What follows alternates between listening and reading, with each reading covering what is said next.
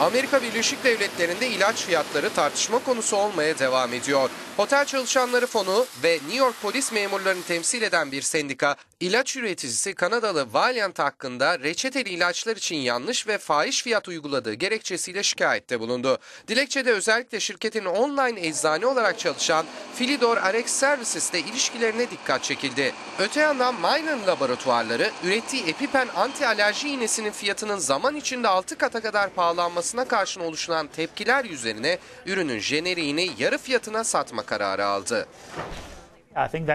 Bu iş açısından temelde iyi bir hareket oldu. Gerçekten insanların kendileriyle çalışmak istemediği Valiant riskine doğru gidiyorlardı. Günün sonunda muhtemelen üründen elde ettikleri gelirin dörtte birini kaybedecekler. EpiPen'in faaliyet karı yaklaşık yüzde yirmi olmuştu. Yani burada vuruş büyük olasılıkla yüzde beşten fazla olacak.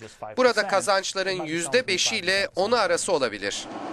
Jenerik ürünün önümüzdeki haftalarda pazardaki yerini alması bekleniyor. Ancak bu girişim henüz eleştirileri yatıştırmış değil. Mylan 2007'de EpiPen'in piyasaya sürdüğünde çifti 100 dolardan satılıyordu. Şu anki piyasa fiyatı ise yaklaşık 600 dolar.